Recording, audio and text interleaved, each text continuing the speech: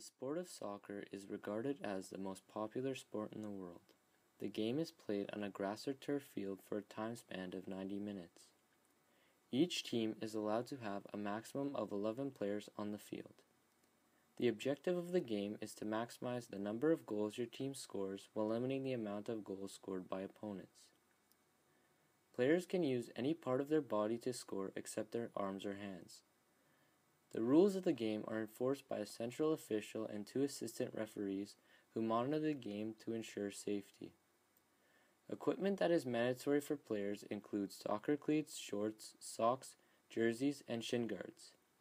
There are many physics related concepts when observing the sport of soccer. When a player kicks a soccer ball, the player is applying a force on the ball. Newton's third law states for every action there is an equal and opposite reaction. Therefore, we can conclude that the ball exerts a force of equal magnitude on the soccer player's foot in the opposite direction that the ball is kicked. This force is called the reaction force. This will result in a slight decrease in the velocity of the player's foot. This decrease in velocity will be minimal since the mass of the ball is a portion of the mass of the player's foot. Newton's second law states that the acceleration of a ball is produced by a net force that is directly proportional to the magnitude of the net force and inversely proportional to the mass of the object. Therefore, when a ball is kicked, the acceleration of the ball will be the same direction as the force. Also, one can increase the magnitude of acceleration by increasing the force or by decreasing the mass of the ball. Over the years, technology has advanced, making lighter balls, which resulted in an increase in the velocity of the ball. Collisions between objects follow the laws of conservation of momentum. This means that the momentum of all objects before the collision is equivalent to the momentum after the collision. This law is exemplified when the ball ricochets off the crossbar.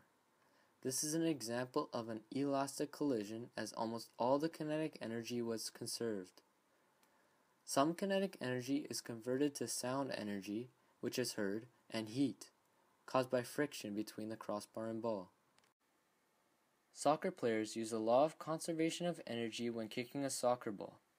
Chemical energy stored in the muscle of the player's legs is converted into kinetic energy of the leg. When the foot strikes the ball, kinetic energy of the foot is converted into kinetic energy of the ball as well as sound.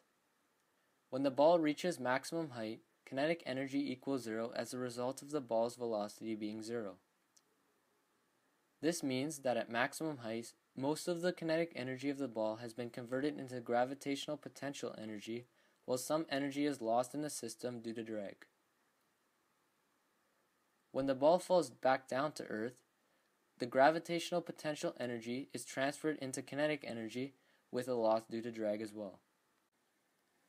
Frictional force is found in almost all real-world applications involving forces. Frictional force is defined as the force resisting the relative motion of solid surfaces, fluid layers, and material elements sliding against each other. In soccer, when a player applies a force on the ball, the frictional force will be in the opposite direction to the applied force. When in motion, the frictional force is equivalent to the net force. This will result in a decrease in speed of the ball until reaching a stop given a sufficient amount of horizontal displacement. Thank you for watching this physics breakdown of soccer.